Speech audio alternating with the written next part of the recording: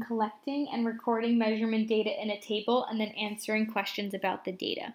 So you're definitely going to need some separate paper for this. You can record your work, otherwise you're not going to be able to do these problems. You're going to measure the lines in inches. Okay, so make sure you're using your ruler and you're on the side that says inches. Then you're going to tally, or you can put the letter, like say A goes here, you'll just write an A. The ones that are 5 inches, you'll put the name of that line here, or the tally, or you can put a tally, oh yeah, record the data using tally marks. So you'll put a tally mark. So if A is less than 5, you'll put one tally here. If they're longer than 5, they go here. If they're exactly 5 inches, they'll go here. Okay? When you get down here, you are going to be writing me some information. Some of you are not actually writing me anything, and I can't see your work. So you're just going to write shorter than 5 inches, and then give me the number. If it's 3, put equals 3. Longer than 5 inches equals whatever so I can see what you're doing.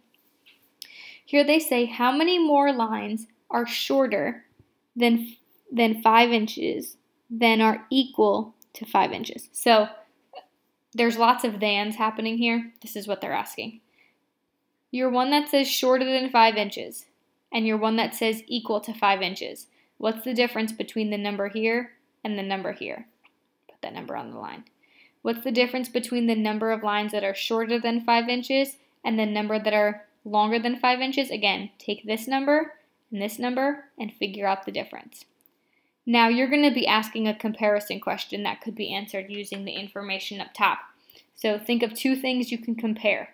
They already have done a couple, so they might have taken some of your answers, but you're going to be asking a question in this box. You don't have to, uh, oh, it does say answer.